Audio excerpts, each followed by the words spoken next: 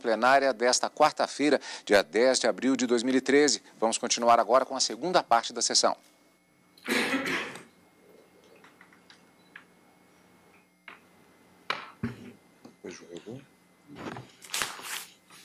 Temos.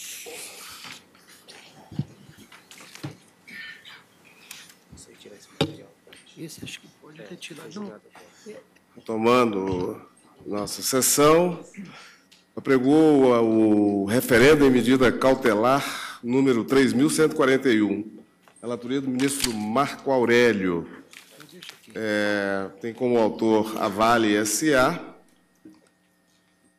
e o réu União Federal, a ré.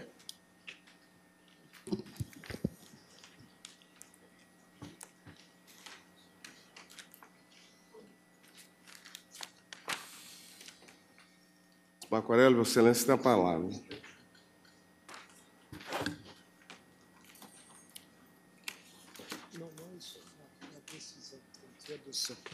Presidente Uh, eis o teor da decisão mediante a qual deferia a medida cauteladora.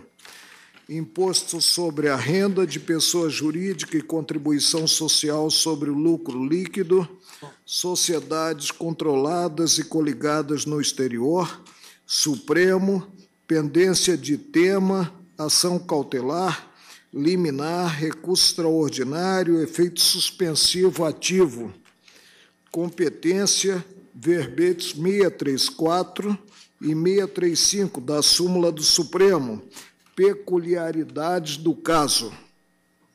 Assessoria prestar as seguintes informações. Vale SA busca o empréstimo de efeito suspensivo a recurso extraordinário interposto contra acordo do Tribunal Regional Federal da Segunda Região, pendente de admissibilidade na origem, prolatado na apelação civil, aí temos o número aqui quilométrico. Segundo narra, formalizou o mandado de segurança preventivo para afastar a exigência do imposto sobre renda de pessoa jurídica de pessoa jurídica e da contribuição social sobre o lucro considerados lucros apurados nos exercícios de 1996 a 2001 e de 2002 seguintes, por sociedades controladas e coligadas no exterior, consoantes artigos 74, cabeça e parágrafo único da medida provisória, e a esta altura não sei se realmente é provisória, porque já está vigorando há mais de 10 anos, a 2.158 de 2001 e 25 da Lei 9.249 de 95, regulamentados pela Instrução Normativa 213 de 2002.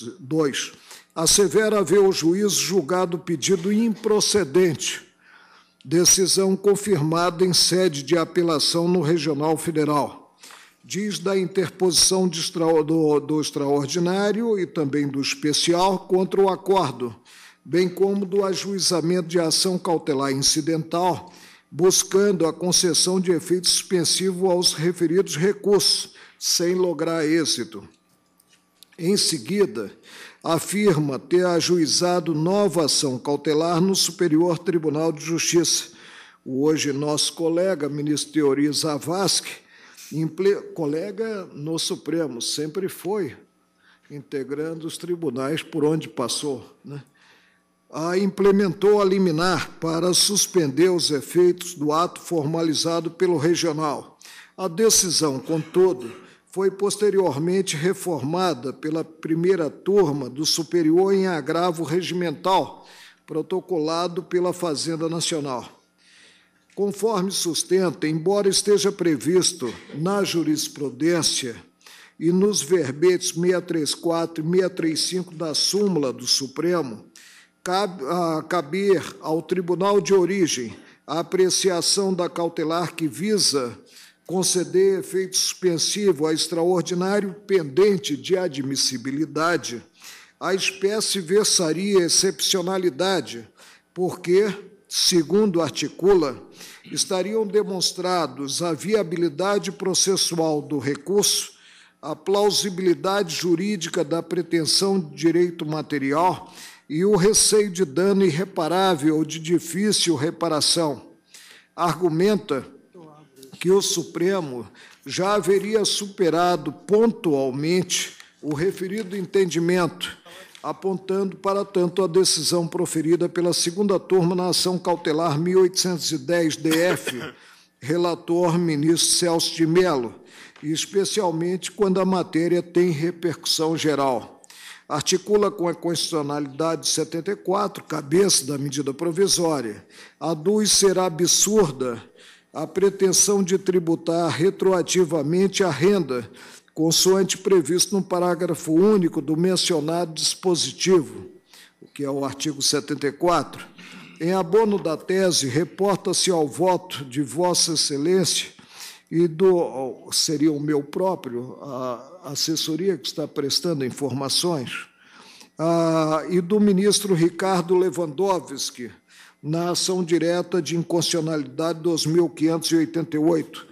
Alude ao conhecimento da repercussão geral, ao reconhecimento no recurso extraordinário 611, 586, que acabamos de julgar. Relator, Vossa Excelência, presidente, relativo à exigibilidade dos créditos tributários oriundos do imposto e da contribuição sobre os lucros apurados por empresas controladas ou coligadas no exterior.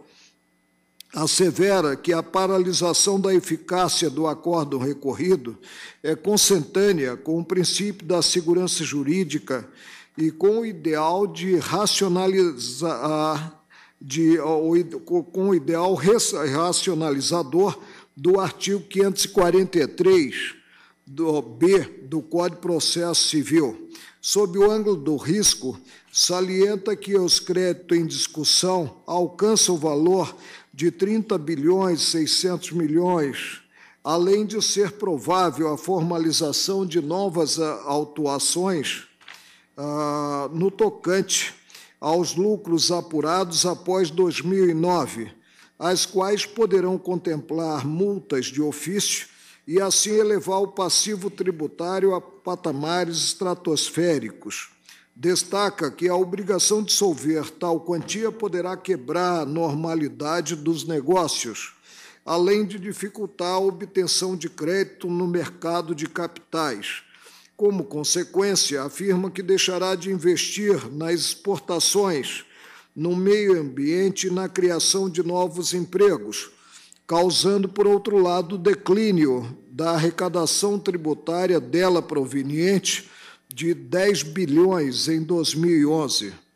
Menciona a possibilidade de perdas no valor das ações, com prejuízos para pequenos investidores, fundos de pensão e a própria União. Diz da necessidade de observar a meta de fomentar as empresas nacionais no cenário internacional e da contribuição para a imagem do país no exterior. Ressalta ainda a inexistência do risco invertido, porquanto os valores discutidos não são essenciais nem podem afetar as finanças do Estado. Argumenta que os fatos geradores remontam a períodos antigos desde 1996.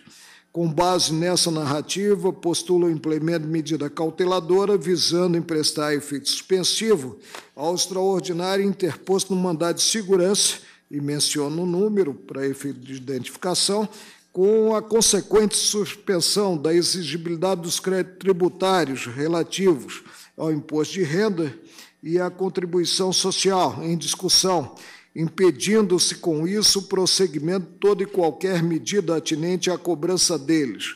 No mérito, requer a confirmação da providência.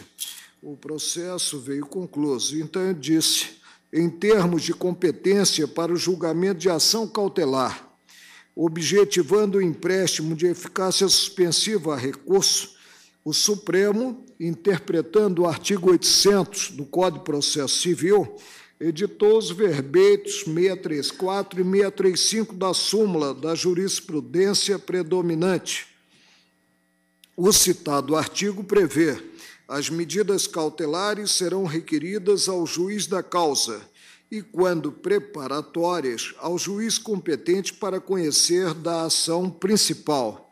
Parágrafo único. Interposto o recurso, a medida cautelar será requerida diretamente ao tribunal. Entenda-se aqui ao tribunal que implementará a revisão do que decidido na origem. Relativamente à disciplina da cautelar, considerado recurso ao disposto no parágrafo único acima transcrito, o Supremo abandonou a interpretação gramatical, que, sendo a de imediata percepção, por vezes seduz. A partir de método mais eficaz de interpretação e aplicação do direito, vislumbrou na expressão interposto recurso a devolutividade que é própria ao recurso, ou seja, a necessidade de a matéria, mediante ato positivo de admissibilidade recursal, ou no caso negado seguimento ao recurso protocolação de agravo, está sob o crivo do tribunal. Daí os verbetes mencionados revelarem as seguintes óticas. O 634 não compete ao Supremo Tribunal Federal conceder medida cautelar para dar efeito suspensivo a recurso extraordinário que ainda não foi objeto de juízo de admissibilidade na origem. Verbete 635. Cabe ao presidente do tribunal de origem decidir o pedido de medida cautelar em recurso extraordinário ainda pendente do seu juízo de admissibilidade. Ressalto a exaustão. Premissa básica dos verbetes é a ausência de devolução do tema ao tribunal. É o fato de a controvérsia, o conflito de interesse estampado no acordo proferido e impugnado por meio do extraordinário, não está ainda submetido, o tema, né, ao tribunal. Eis o enfoque consentâneo com os princípios da razão suficiente, da causalidade do determinismo o direito, especialmente instrumental, é orgânico e dinâmico, valendo notar a necessidade de, tanto quanto possível, observar-se a faculdade inerente à cidadania, a de obter jurisdição. O Supremo órgão judiciário máximo da República possui o papel preponderante de tornar efetiva, concreta, a Constituição Federal Após a edição dos citados verbetes, surgiu nova realidade concernente à dinâmica processual e, acima de tudo, a racionalização da atividade desenvolvida pelo Estado juiz. Veio à balha o Instituto da Repercussão Geral, a significar a definição de casos que, envolvendo preceito constitucional, necessariamente, Fico perplexo quando vejo decisões apontando que a matéria é infraconstitucional e não há repercussão geral, coisas incompatíveis, né? a significar a definição de casos que, envolvendo preceito constitucional, apresentem interesse abrangente, não se mostra demasiado proclamar que tudo se faz presente esse ângulo, visando o pronunciamento do órgão maior do judiciário. Então, admitida a repercussão geral, ficam paralisados em decorrência do fenômeno do sobrestamento os processos em que já protocolizados na origem recurso extraordinário retornam ao objeto, objetivo princípio da ação cautelar, sobretudo em se tratando de pendência de recurso, resguardar campo propício à eficácia concreta de pronunciamento judicial. Há mais de 2.500 anos, os primeiros filósofos materialistas gregos lançaram as ideias básicas do princípio da razão suficiente. No único fragmento de Leucipo, preservado, tens que nada nasce sem causa, mas tudo surge por algum motivo e em virtude de uma necessidade. Demócrito, discípulo de Leucipo e pai da teoria atômica, dizia: nada nasce do nada e nada volta ao nada. Tudo acontece pelo destino de tal forma que este destino traz consigo a força da necessidade. Nesse contexto, é extremo de dúvidas que, no tocante à impugnação de certo acordo, a eficácia suspensiva a ser atribuída ao recurso e também a suspensiva ativa estão direcionadas à preparação de seara própria a ver as consequências da reversão do quadro decisório. Atenta, então, para a espécie, tudo com base na abrangência do Instituto da Repercussão Geral. Mandado de segurança foi impetrado pela autora. Pretendeu afastar a exigência do imposto sobre a renda de pessoa jurídica e da contribuição social sobre o lucro líquido, quanto a lucros apurados em certos exercícios, 1996 a 2001 e 2002 e seguintes, por sociedades controladas e coligadas sediadas no exterior. A liminar, parcialmente implementada, foi afastada do cenário jurídico ante o indeferimento da ordem, isso no mandado de segurança. O Tribunal Regional Federal da Segunda Região desproveu a apelação. Os recursos especial extraordinário a seguir interpostos ainda se encontram pendentes do crivo de admissibilidade.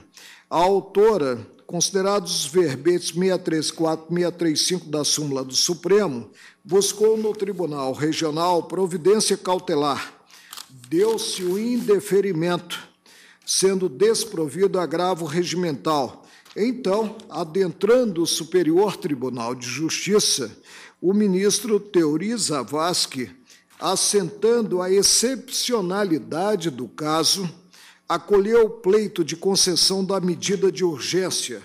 Entremente, concluiu o colegiado por score apertado, três votos a dois, de forma diversa, vindo a caçar liminar de Sua Excelência. Cumpre ter presente que o tema de fundo está para ser elucidado pelo Supremo há anos, desde 2001. Né? Em 2001, foi ajuizada a ação direta de inconstitucionalidade 2588. Sucessivos pedidos de vista e a escassez de espaço na pauta no que o tempo não vem sendo otimizado, inviabilizaram a complementação do julgamento. Considerados os votos proferidos, tem-se o meu próprio e os dos ministros Sepúlveda Pertence, Celso de Mello e Ricardo Lewandowski, no sentido da procedência do pedido formulado, os dos ministros Nelson Jobim, Eros Grau, César Peluso e Aires Brito, julgando-o improcedente, e o da ministra Ellen Grace, relatora pela procedência parcial para declarar a inconstitucionalidade da expressão ou coligadas, contida na cabeça do artigo 74 da medida provisória 2158, dígito 35, na época, as medidas provisórias reeditadas eram ah, numeradas, né, indexadas. Não participando dessa apreciação, os ministros Gilmar Mendes, por estar impedido, Carmen Lúcia, Rosa Weber, Dias Toffoli e Luiz Fux, no que os antecessores já proferiram voto.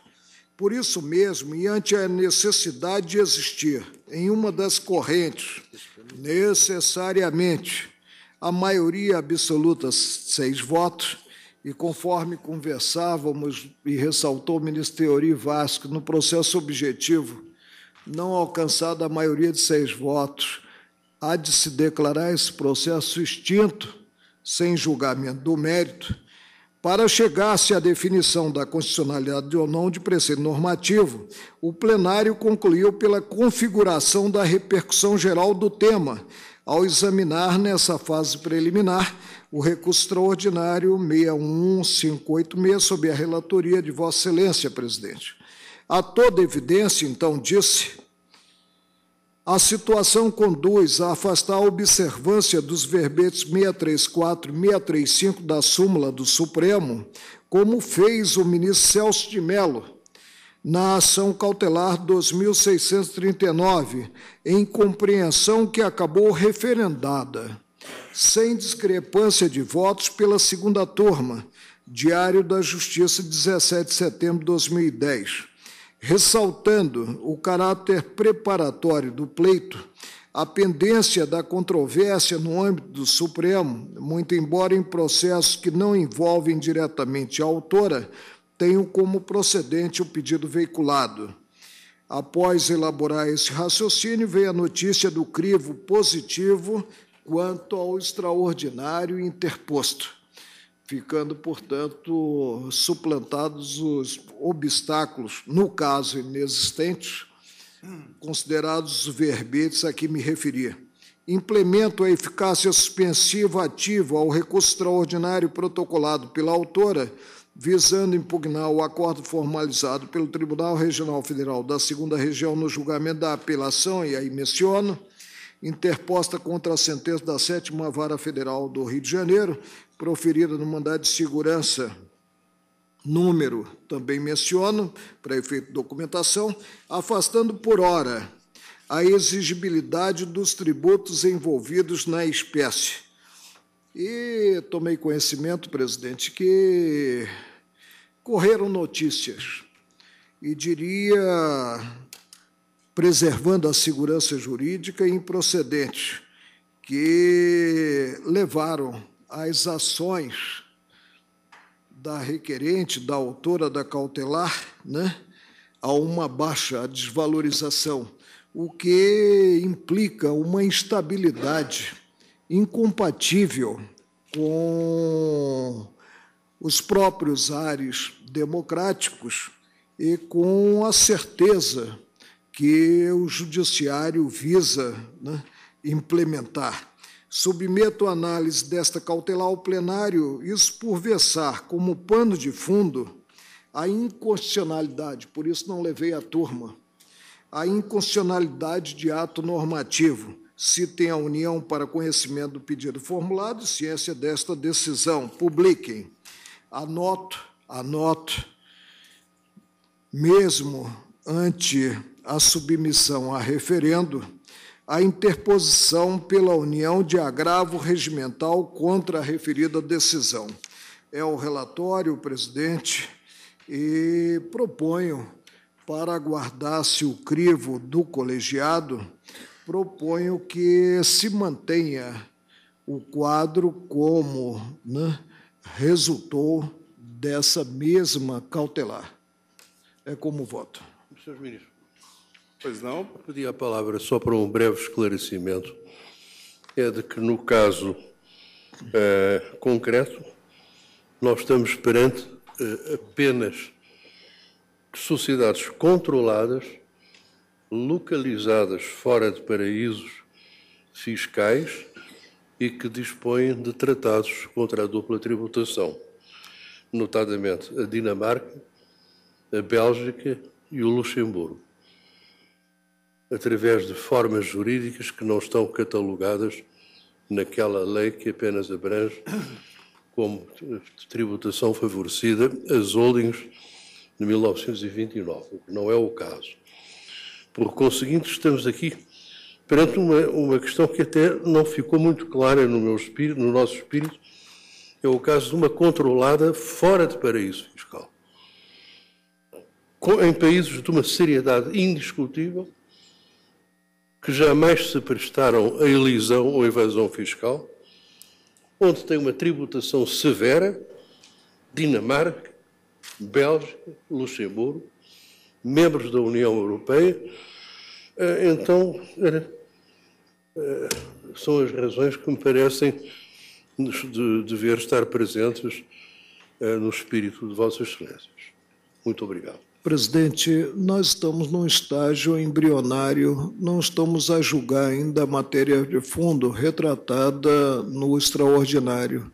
O que proponho é o simples referendo da liminar e a declaração de prejuízo do agravo interposto pela União para aguardar-se esse mesmo julgamento.